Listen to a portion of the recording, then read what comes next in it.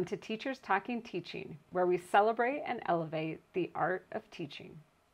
We're back with Teachers Talking Teaching this week, and we're talking with Tami Wolff, who is a middle school teacher educator, and she teaches English and literacy. And we are excited to hear from her today about her origin story. So, Tami, how what got you into this profession of teaching, and how did you decide to end up where you are today? Cool, thank you. Um, well, I've I am one of those people who've always wanted to be a teacher. And so when I was in like second and third grade, I would make my little brother sit there and I would like give him homework mm-hmm. and blah, blah, blah, blah, blah.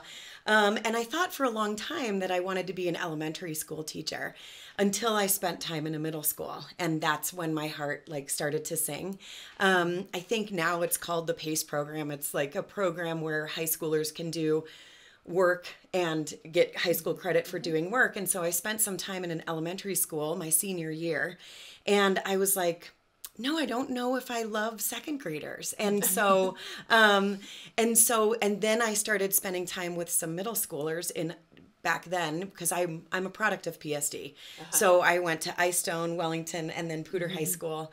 Um, and so I was spending some time um, in a seventh grade classroom because back then it was seven, eight, nine mm-hmm. in junior high, um, and and I just really liked it. I liked the connection that I had with middle schoolers. Mm-hmm. So I decided to go down the secondary ed path, mm-hmm. um, and so I went to UNC in Greeley, mm-hmm. and I was there got my English language arts degree, went to CSU, got my secondary ed degree, um, and then I met my husband in the program, and we spent our first two years of teaching in the Peace Corps. So we were in the Solomon Islands, which is over by um, Fiji in Australia, mm-hmm. and we were both teachers in the Peace Corps there. So we spent two years there. Then we came back and um, we were not ready to get back into mainstream yet. So then um, we spent a couple of years teaching out in the bush in Alaska, um, right outside of the Valdez Arm down in a little mm-hmm. community by Cordova. Um, and so we were there for two years and we called it our paid Peace Corps experience because it was really remote and we were with Native uh-huh. people again, um, but we were getting paid this time instead of volunteering. Um, and then we went and taught off the coast of Maine um, for a year in a community, Deer Isle, Stonington, Maine. Um, and then life brought us back here. So we call it like some kids take a gap year. Mm-hmm. We took like a gap eight years. and so we came back here and I started teaching in at a middle school in mm-hmm. Loveland. Um, surprise got pregnant with twins mm-hmm. we don't have twins in our family so um, i took some time with them and got my master's in english language arts or english education for mm-hmm. secondary school um, and then was working in a middle school eighth grade for mm-hmm um, a while and then went back and got my um, educational leadership degree, master's. Um, and then now I am still in middle school, um, seventh and eighth grade English language arts. So our our journey brought us to lots of different places. Mm-hmm. For a summer, we went and taught um, in the Indian Ocean in Madagascar, or right off of Madagascar, where Reunion, the Seychelles. Mm-hmm. Um, and so we did that and we had a lot of adventures at the beginning and mm-hmm. teaching was our avenue to have all those adventures so we went to lots of different places and taught in a lot of different app like situations and with How do you different feel people. like you've been able to use those different mm-hmm. experiences then in your classroom here? So, um, and I know that later we're going to be talking about literacy, but there's there's part of for me why why English? Why mm-hmm. yeah. why reading yeah. and writing instead yeah. of I love art too and I love teaching musical theater. I did that for 10 years and I was in theater myself and so which of those do you pick? And I what I love about literacy is having kids be able to access not just seeing their own perspectives in the world, but other people's perspectives in the world. And so, what's really helped me um, through all of my experiences is that I actually have experiences to draw from to help mm-hmm. kids mm-hmm. see and navigate through what life is like seeing through a different mm-hmm. lens. And so um, when we were in Alaska, we were in an award winning um, district called Chugach School District, and they were truly student based. And their standards based system was no grades, no grade levels. Kids progressed through based on their their yeah, them being able to access the the grade level material. Um, and so the only reason that they were grouped with like peers is because of developmentally. You know, if you're not great at math, you're not going to be in, in a 16 year old in with fourth graders because developmentally that's inappropriate. Yeah. But um, but they moved through their their grades and grade levels at their pace, and so it was there that I really got challenged to take a critical look at how we do school mm-hmm. and what true student based education looks like. Mm-hmm. And so um, it's been really fun and challenging bringing that experience with me into more traditional public school settings. And I've thought a lot about sometimes maybe wanting to be at a charter school and blah, blah, blah. Mm-hmm. But I don't. I don't want to because I want to try to use my experience in a public school setting to help us move and shift with the way that education is moving and shifting um, to that to that place. So yeah. Was there a, a country or an ex- or a school district that you were in that you're like, ah, this is this is you know so unique and so different that I wish you know more educators in the U.S. would know about this.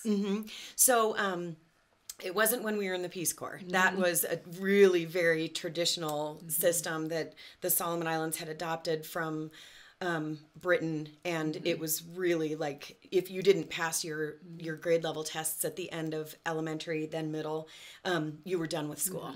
Um, and so that one was really I was that one was shocking. Um, but the one in Alaska is the one that with that I wish the movement could move mm. towards. So there's a national organization called Education Reimagined, mm. and they're out of DC, and they're trying to get all these pockets of schools that are doing true student-based learning mm-hmm. to start communicating with each other. And so they're bringing them all together. And because of my involvement in Alaska, I heard of Education Reimagined, and now I'm part of that mm. that movement to to start getting schools and districts to to start seeing the possibilities mm. of of true student based learning. Mm-hmm. Yeah. and leadership in your learning. There's a lot of ownership when you have that um, setup. Like, how have you seen kids thrive in that model? So when kids are truly able to embrace what they know mm-hmm. and learn and, and need to know to progress, that starts becoming a responsibility that's them on them. And they stop playing the game of school and just doing school to get through it and they start actually owning it. And when that happens it's pretty cool. And in in a system that way too um, with the stakeholders with our whole community and the the school board members they actually own it also. And so parents know where kids are and where they need to progress to truly, um, instead of just maybe letting kids have their you know eight to 3 mm-hmm. experience and and then we have our separate home lives. It's just it's really mm-hmm. intertwined with each other. And so that's been great trying to figure out how to bring that everywhere So I know part of your story too has been to be in one school for quite a few years, and you've made a mm-hmm. big shift this year to opening a brand new school. So, mm-hmm. what are some of the like what inspired you to make that shift? 1st of mm-hmm. all, like to take that challenge on, and then what have been some of the some of the fun parts and maybe some of the challenging parts of that this year so far? Cool. Well, so some of the reason that I that I was like, okay, I was at my last school for 13 years teaching 8th grade and I loved it and I loved my musical theater partner who was the choir director there and we put on so many musicals and I it was a family. It was a big family and there was a big shift in our district that um that moved a lot of our like the kids that were our neighborhood school kids it was shifting kids all over so our our school really was um got split apart and not out of meanness or anything but just out of like you know, Reality, dollars yeah. follow kids. And so we got to move people around. And I thought, if there's a time for me to just try a new adventure, what might that be? And obviously, from what I've said about my past, I like new adventures. So for me to even be there for 13 years, I was like really proud of myself. um, but um, so there's no like hard feelings, nothing from from jumping ship. I was like, maybe I just want to try being somewhere different and trying mm-hmm. something new and what might that be like to open a new school? And mm-hmm. going back to what you asked about bringing experiences with me i was like wow well i really looked into the philosophy of the new admin team and how my new principal was thinking about how he wanted to be able to have a middle high school blend mm-hmm. um, in the same building.